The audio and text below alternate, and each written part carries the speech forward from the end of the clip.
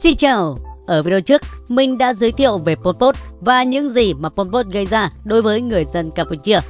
Còn trong video ngày hôm nay, chúng ta sẽ cùng tìm hiểu về cuộc hành trình mà cha ông chúng ta đã giúp người dân Campuchia lật đổ Pol Pot, lấy lại cuộc sống vui vẻ hạnh phúc các bạn nhé. Ngay từ những năm 1966, Pol Pot đã tỏ thái độ thù địch với Việt Nam khi cướp kho tàng và phục kích để đánh lén bộ đội. Tới năm 1970, 1973, lợi dụng lúc bộ đội ta đang tập trung đánh Mỹ và tay sai ở chiến trường Campuchia, thì lính Pol Pot cũng thừa nước đục thả câu khi gây ra 174 vụ khiêu khích, cướp vũ khí, lương thực và giết hơn 600 cán bộ, chiến sĩ của Việt Nam. Cộng thêm sự giúp sức từ nước bí ẩn nào đó, Pol Pot cứ thế tấn công biên giới Việt Nam. Chúng ta có thể chia quá trình Pol Pot quấy nhiễu và phản công của Việt Nam thành hai giai đoạn để tìm hiểu cho dễ. Giai đoạn 1 diễn ra từ năm 1975 đến năm 1978. Lợi dụng đúng ngày mà miền Nam vừa được giải phóng, quân Pol Pot liền chơi bài càn trộm. Chúng xâm lược lãnh thổ từ Hà Tiên đến Tây Ninh, tiếp đó là các đảo Phú Quốc, Thổ Chu. Trên đường đi, chúng triệt phá làng mạc, bắn giết nhiều người dân và bắt đưa 515 người khác. Sau này, chúng khai 515 người ấy cũng đã bị giết hại. Cho đến năm 1976, quân Pol Pot đã gây ra hơn 250 vụ xâm chiếm lãnh thổ, cướp lương thực, gia súc và tàn sát nhiều người dân Việt Nam. Thời điểm đó chúng ta vừa mới giải phóng. Thứ nhất là cần thời gian để củng cố lực lượng. Thứ hai là muốn thêm bạn bớt thù nên chỉ chống trả theo dạng cầm cự, mục tiêu là đuổi chúng ra khỏi lãnh thổ. Thế nhưng cây muốn lặng mà gió chẳng ngừng. Ngày 30 tháng 4 năm 1977, nhân lúc Việt Nam đang ăn mừng kỷ niệm 2 năm giải phóng, thì quân Pol Pot lại cắn trộm quy mô lớn. Đồng loạt tấn công Việt Nam trên toàn tuyến biên giới từ An Giang, Long An, Đồng Tháp đến Tây Ninh. Chỉ tính riêng tỉnh Tây Ninh, chúng đã giết hơn 800 người dân vô tội và đốt cháy 500 ngôi nhà. Và chiến tranh biên giới Tây Nam chính thức nổ ra. Ngay sau đó, quân đội Việt Nam đã tập trung 8 sư đoàn và mở đợt phản công đánh thiệt hại 5 sư đoàn Khmer Đỏ. Lần đánh này, chúng ta không chỉ đánh lui Khmer Đỏ mà còn đánh vào sâu 20 đến 30 km đất Campuchia đến tận Nách Luông.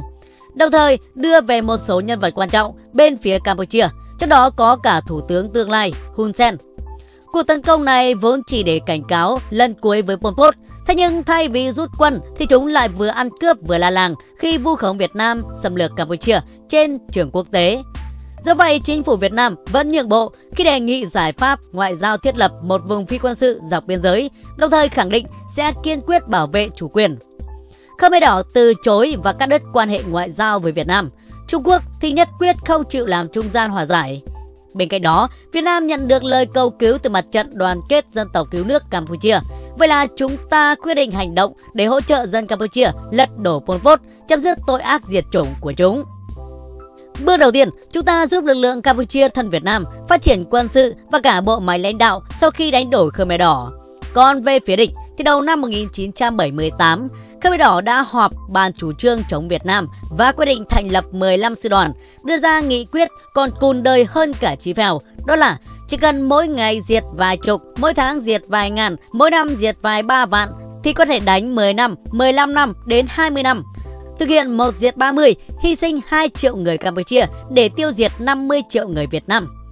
Như vậy, tổng kết trong giai đoạn 1 thì chúng đã liên tục gây hấn, làm 8.500 binh sĩ và dân thường Việt Nam thiệt mạng, hàng trăm gia đình không còn lấy một người sống sót. Đến giai đoạn 2, bắt đầu từ cuối năm 1978, vào ngày 13 tháng 12 năm 1978, được sự chống lưng từ Trung Quốc, Khmer Đỏ đã huy động 19 sư đoàn, khoảng 100.000 quân tấn công xâm lược toàn tuyến biên giới thuộc địa phận Tây Ninh, Đồng Tháp, An Giang và Kiên Giang. Đi đến nơi nào là chúng độc ác thực hiện chính sách diệt chủng đến đó. Quân đội Việt Nam đã chống trả quyết liệt và kim chân của chúng, đồng thời tiêu hao sinh lực của quân Khmer Đỏ. Ngoại trừ Hà Tiên bị chiếm giữ trong thời gian ngắn thì các vùng đất còn lại của Việt Nam đều nguyên vẹn. Tiếp đó, chúng ta tăng viện lên 80.000 quân, phản công cực mạnh, Toàn bộ hệ thống phòng thủ vòng ngoài của Pol Pot dễ dàng bị phá vỡ. Chỉ vài ngày sau, quân đội Việt Nam đã hoàn thành nhiệm vụ đánh đuổi quân Pol Pot bảo vệ nguyên vẹn lãnh thổ. Đánh tan vào ngoài xong thì quân tình nguyện Việt Nam và lực lượng vũ trang của mặt trận đoàn kết dân tộc cứu nước Campuchia lại tổng công kích vào thủ đô Phnom Penh. Chỉ trong 2 ngày, Phnom Penh đã giải phóng hoàn toàn. Chế độ diệt chủng của tập đoàn Pol Pot bị xóa bỏ. lập ra chế độ Cộng hòa Nhân dân Campuchia. Như vậy, chưa đầy một tháng, quân tình nguyện Việt Nam đã cùng lực lượng cách mạng Campuchia tiêu diệt 12.000 lính Khmer Đỏ, bắt 8.800 lính, giải tán 44.000 lính và cứu giúp hơn 4 triệu người dân Campuchia. Do lính Pol Pot vẫn còn giải rác, chính quyền mới còn non trẻ nên phía Việt Nam đã quyết định để lại quân tình nguyện để phòng Khmer Đỏ quay lại cướp chính quyền. Năm 1982, quân ta đã định rút về, nhưng chưa kịp rút thì Khmer Đỏ lại manh nha và tan phá nhiều vùng.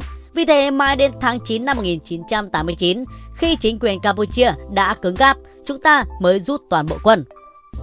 Đến năm 2018 thì thủ lĩnh cuối cùng của Khmer Đỏ đã bị Campuchia kết án vì tội diệt chủng. Trước đó, hắn bị kết tội trung thân vì tội ác chống lại loại người năm 2014 bởi một tòa án do Liên Hợp Quốc đứng sau. Suy cho cùng thì việc đem quan xâm lược một quốc gia chưa bao giờ là dễ dàng. Cái khó sẽ còn nhân lên gấp trăm lần nếu muốn xâm lược Việt Nam. Bên cạnh đó, dù rất nhiều người Việt, bao gồm cả quân và dân thường đã hy sinh để đổi lại sự bình yên cho Campuchia, nhưng nhiều người dân nước họ lại không trân trọng sự hy sinh đó mà còn quay ngược lại chửi chúng ta. Mong rằng khi dân trí cao hơn, họ sẽ biết đâu mới là lẽ phải. Cảm ơn các bạn đã xem video. Xin chào và hẹn gặp lại.